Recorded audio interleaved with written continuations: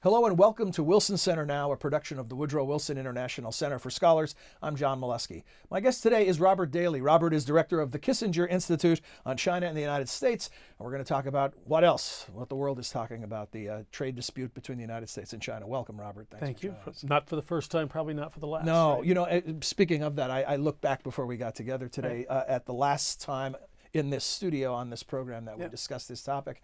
And we began looking at the language, whether trade war was the right terminology. Doesn't seem like there's any doubt about that now. Well, I think I surrendered to that last time, not being quite Somewhat ready to go for a martial metaphor. Yes. Uh, but if the, yeah, if the term is to be used at all, uh, then with this recent rate increase last Friday in American tariffs on 200 billion in Chinese imports from 10% to 25 percent, Chinese retaliation on 60 billion, also from about 10, 15 percent varied up to about 25%. Yes, we would seem to be in the thick of it. So are, are we now in this tit for tat stage? Is that what we should expect? Well, it's a little soon to say. We don't yet know that this isn't brinksmanship and still negotiation theater. The new tariffs that we've put into effect are on goods that left Chinese ports last Friday. Those will take several weeks uh, to get here, and of course, ships can slow down. Uh, China's uh, then tit for tat uh, imposition of higher tariffs on 60 billion. That doesn't kick in until June 1st. So that gives time but there is also no uh, negotiation planned over the month um, of May that we know of. The next major point we're looking to is the G20 meeting when Xi Jinping and Donald Trump will be together at the G20. Are they definitely going to have a side meeting, or is that just? It is not definite. Okay. It appears likely, but uh, it's actually quite a long ways away, and it's a period of time in which both countries could feel more pain.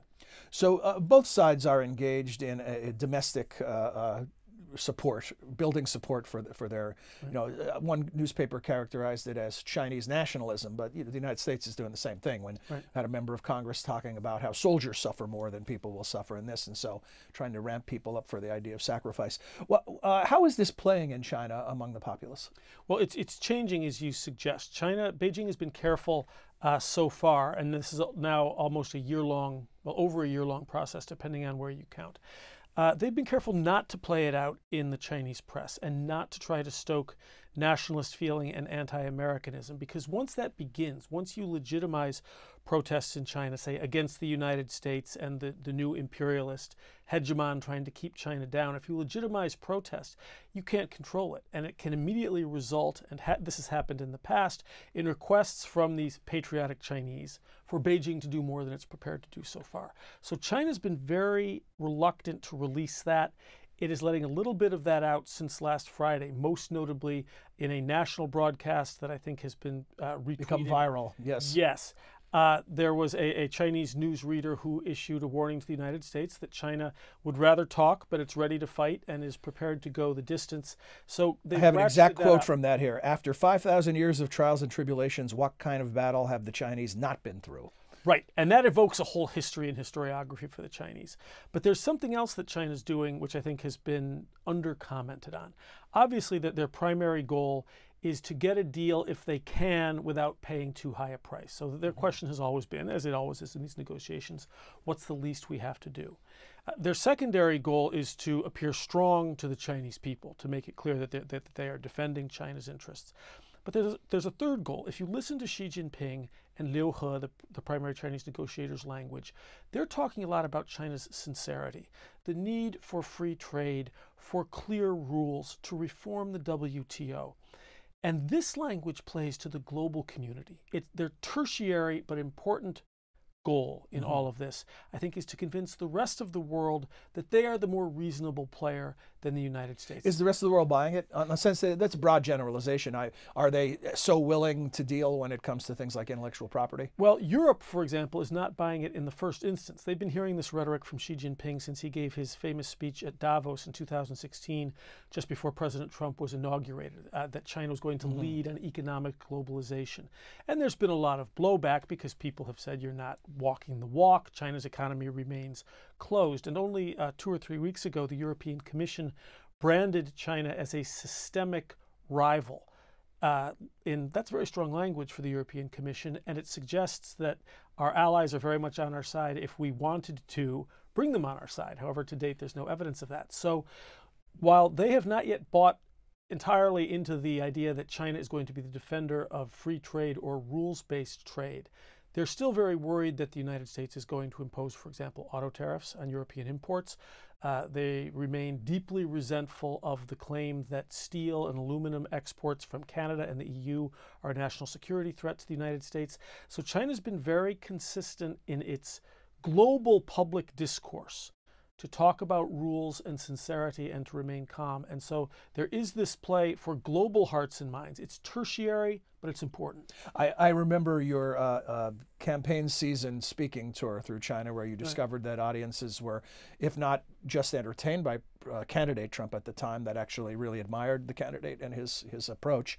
Uh, how do they like him now? Well, you still have a range of views in China. Uh, there are reformers, including in, in highly positioned people, possibly even including Liu He, the chief negotiator, who have wanted to see China open up and to further reform its economy uh, for over a decade. These are mm-hmm. people who were particularly hopeful that Xi Jinping would follow his own blueprint for reform that was published in 2013, and that hasn't happened. Among economists and foreign policy intellectuals in China, you sometimes hear the claim that only Donald Trump can save China because he can force Xi Jinping to make the reforms they would like him to make. And this is one of the ironies of the whole trade negotiation and the broader competition between the United States and China. And we've mentioned this before. If our prescription for China to have a freer, more open economy and to be more closely integrated with a global rules based order, if that prescription is the correct prescription for human flourishing, it enables China it means that China surpasses the United States even more quickly. So we're a little bit confused as to what we're aiming for and what we should want. Do we want a resolution to this trade war, or do we want the trade war to be the entryway into a more long term competition between the United States that comprises security architectures, uh, rules making norms. You, you feel tensions within the administration and within the United States as to where we would like to go. So, if I'm understanding this, it, it, we could force reforms on China that would make them the juggernaut that they can become and are held back by because of some of the rules that absolutely. We, we could actually be improving their economic performance. Wouldn't that be a law of unintended consequences? along those lines, you know, if you listen to President Trump right now, he's, he's at least posturing as very confident about essentially bringing China to its knees. He's made some comments right. about if the Fed drops rates, we win easily. Uh, uh, how is who's going to be in this for the long haul? Who can really wait well, the other is, out? Where do we start to feel the pinch? Right, uh, and I think that that's the key question because there is no doubt there's already ample evidence that uh, the trade war is hurting both sides. Our theory of the case from the beginning has been that because China exports more to the United States than we export to them, that therefore they will feel more pain. However, the Chinese economy appears to still be growing at a fairly healthy clip. The, most of the indicators in the first quarter are that China's economy has stabilized. It's probably at about 6.5% annual GDP growth. Uh, so doing fairly well. Its dependence on exports has declined by about half over the past decade. Its exports to the United States are about 4% of its GDP. That's an important four, uh, 4%, but they may be able to find substitute markets in some of those cases. And then you have in China, uh, and this was evoked by the nationalist TV announcer you mentioned mm-hmm. earlier, mm-hmm. there is a tradition of suffering for the country. Uh, China has been through a great many periods of patriotic privation they are practiced in taking this in a country where the state controls all of the media and all of the public discourse, uh, more or less. That is not true here. We are already wavering because of the pain that is being borne by the agricultural sector, which is enormous in some parts of the United States. I don't mean to belittle this, but I think that this is what uh, Senator Cotton, who, who you didn't quote by name, but who you quoted earlier as saying that the farmers haven't suffered the way American soldiers have. Right. Well, they never do. It's a rather strange way to put things, and it sounds almost like an accusation of a lack of patriotism on the part of the farmers. So I think it's not a very deft phrase, but he's also he's making an important point that if this is a long-term competition with our country of greatest strategic concern, China, then this isn't just going to be about soybeans. Uh, it's going to be about far more than that.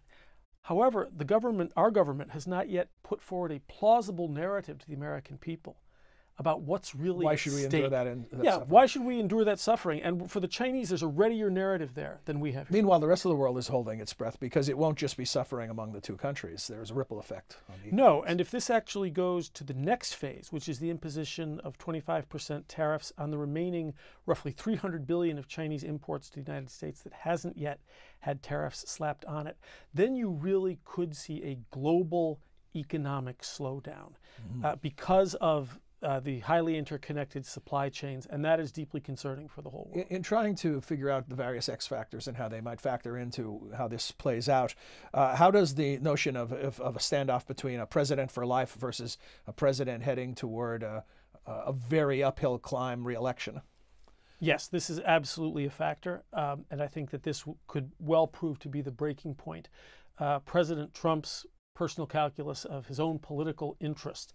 Uh, the stock market has been extremely volatile, even schizoid, over the past year. It's been striking. We've seen this in the past 24 hours. Yeah. the- Any any sounding in the day while while recording, you know, you'll see this after today, but on the day we're recording, May 14th, yesterday it was a 618 drop. Today I checked right before we came into the studio, there was a rebound of more than half of that.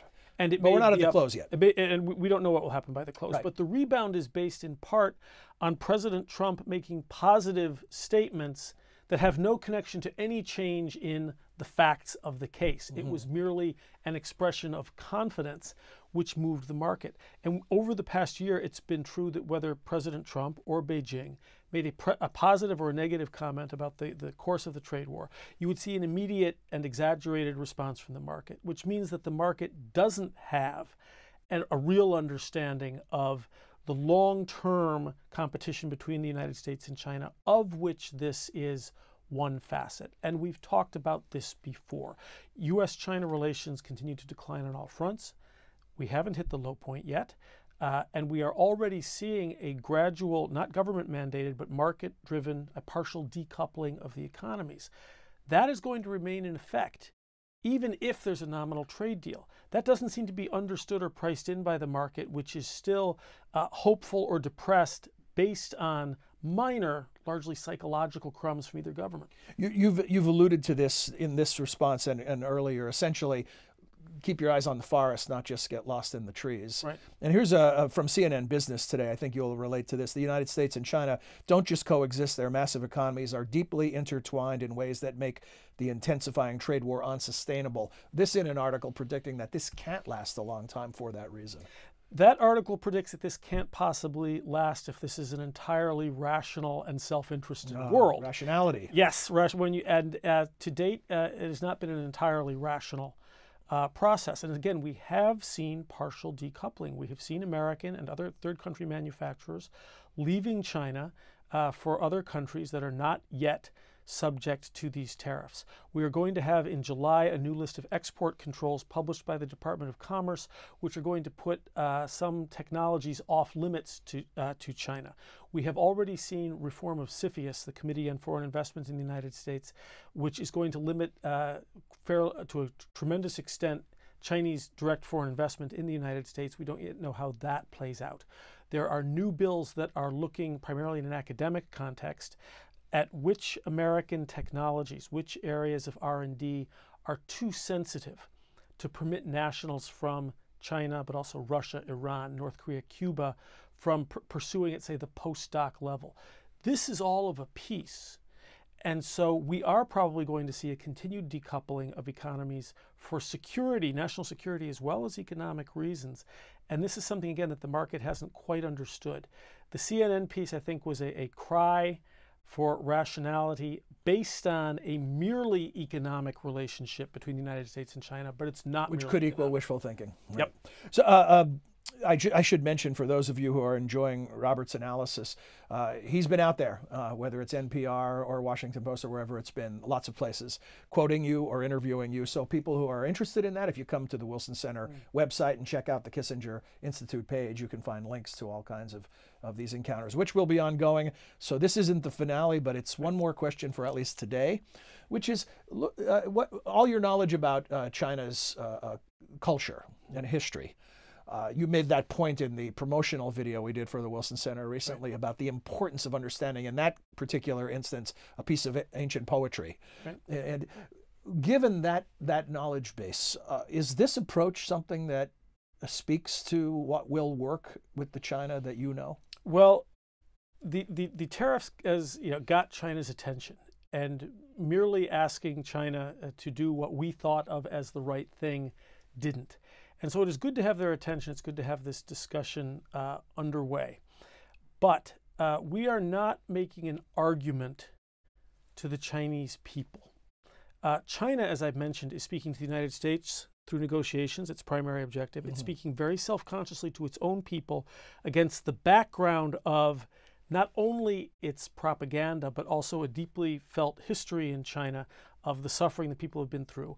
And China is also speaking very self consciously to the rest of the world with which China is integrated and which is very important.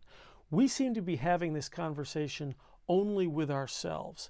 And we are not uh, engaged in public diplomacy with the Chinese people to try to make our case there or to make it internationally. And I think that that is going to make it very hard for this approach of merely threats uh, to work to China. Uh, China has been threatened a great deal. It has undergone a great deal of privation.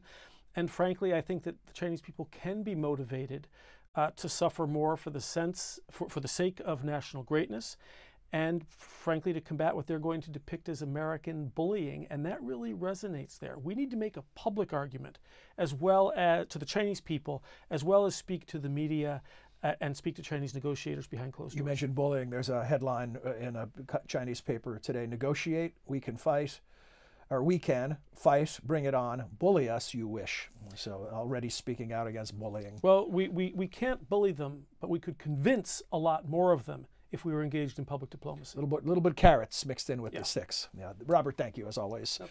Thanks you for joining us as well. Uh, hope you enjoyed this edition of Wilson Center Now, and will join us again in the future. And for those of you who'd rather hear us than look at us, we're available as an audio podcast as well. Thanks for joining us.